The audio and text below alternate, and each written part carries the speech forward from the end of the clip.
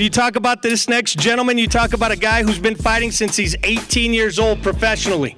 Comes from a dynamic of loving New Mexico, being around the best trainers his entire professional career. Goes up, fights Mike Alvarado, and gives him one heck of a match, and a lot of us had it scored for him.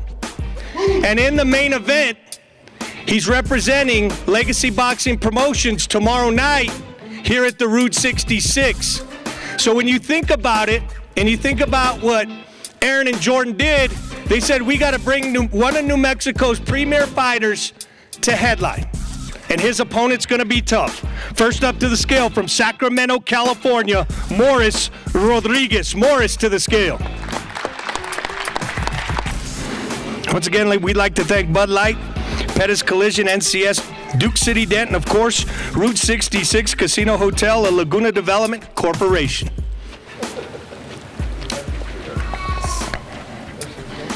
One forty-eight point four. 148.4 for Rodriguez. Coming up to the scale.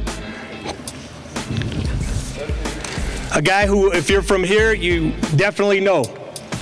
Has been in some unbelievable training camps, including Swift Garcia, he just got out of that training camp.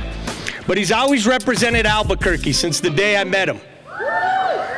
Next up to the scale with 16 wins, eight by way of knockout from Albuquerque, New Mexico. He's the pit bull, Josh Torrez.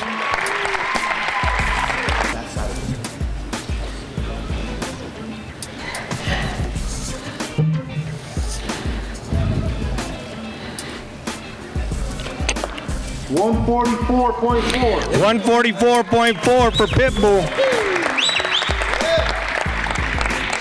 It's the main event tomorrow night. Rodriguez and Torrez.